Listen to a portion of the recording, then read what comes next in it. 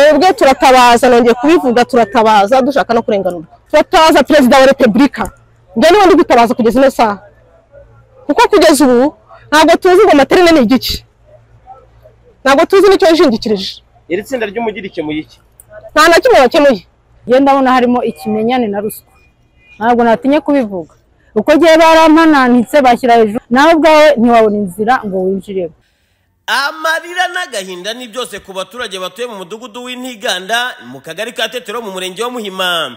Ngo nyuma yo gufungirwa inzira n'umushoramari witwa materine ndayisenga wafashe ikibanza cye akagisiza ndetse n'inzira abaturage bari basanzwe bifashisha.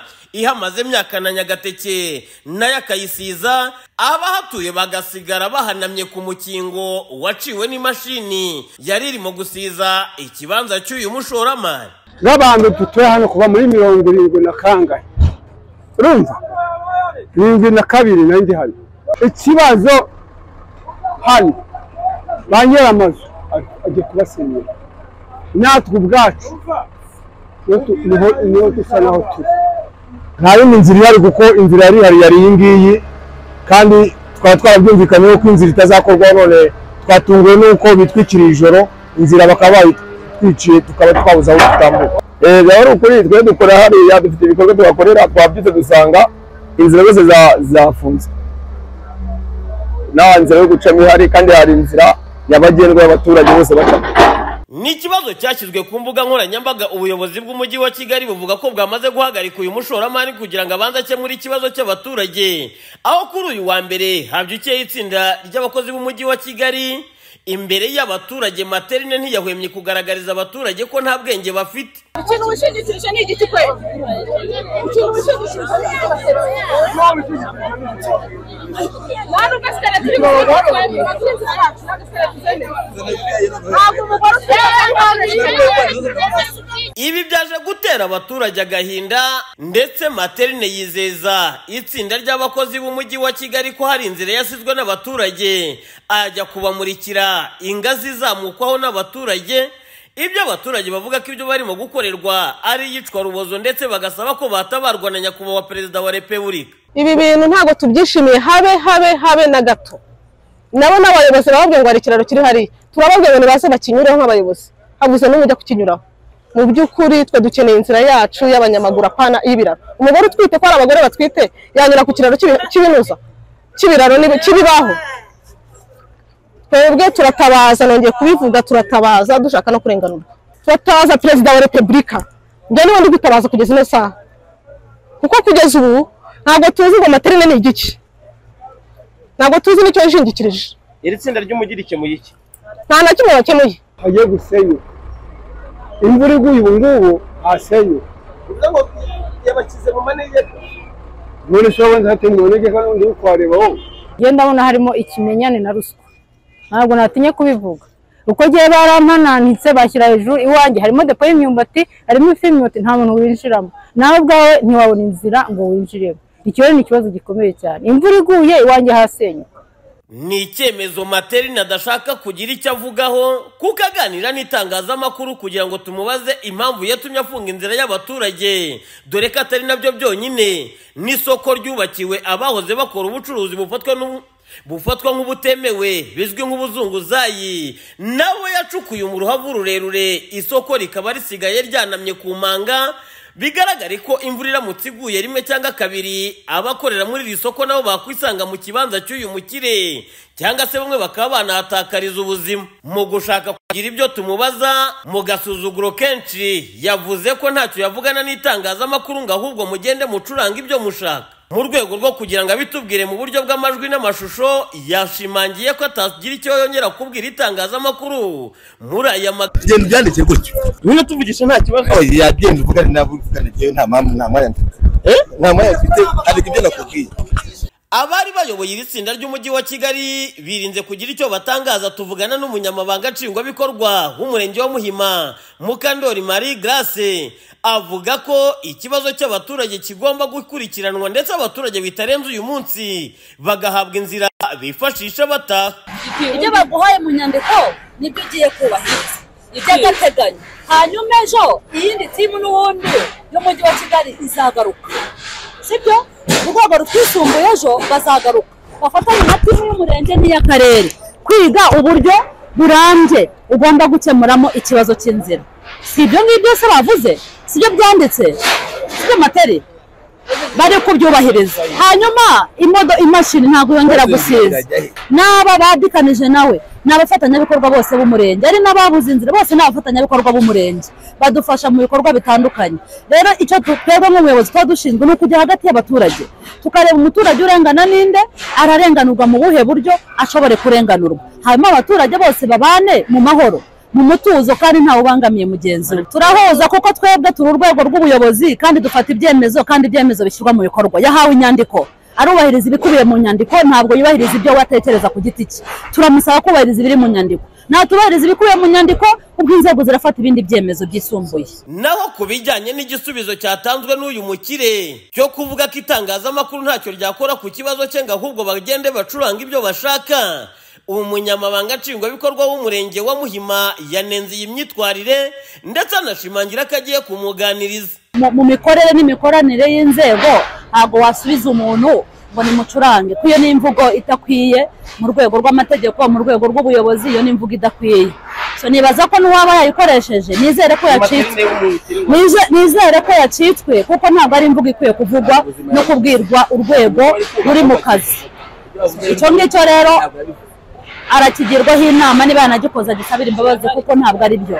Naho ku kuba yarasize abacuruzi bakorera mu isoko ry'abazunguzayi ku manga ibi na byo umunyamabanga nshingwabikorwa yagize ati. Nibaza ko inzego zafashe zafashe umwanzuro w'uko yubaka miri desitonoma ikarangira kugira ngo iporoteje isoko.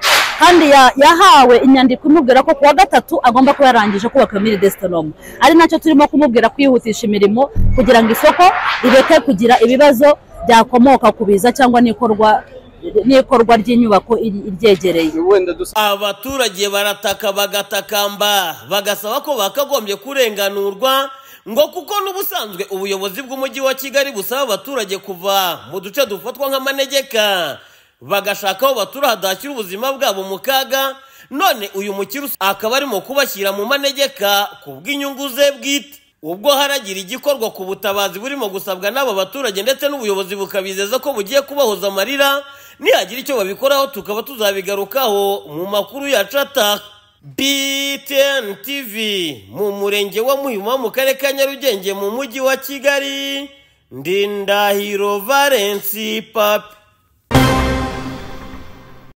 Aba bana b'abakobwa b'abangavu baravuga ko bahura n'imbogamizi zikomeye cyane baterwa no kuba kuri iki kigo bigaho nta cyumba cy'umukobwa cyihariye gihari cyo kwifashisha bisukura mu gihe bari mu mihango. Ibi ngo bikaba bibabangamira cyane ndetse bikanabagiraho ingaruka. Imbogamizi ihari ni uko ni uko aba- abanyeshuri ba- barazaga bakagushungera bakaza kureba ibyo urimo ingaruka hari igihe nyine uba ukeneye nk'ibintu kandi nyine byagufasha uri ku ishuri.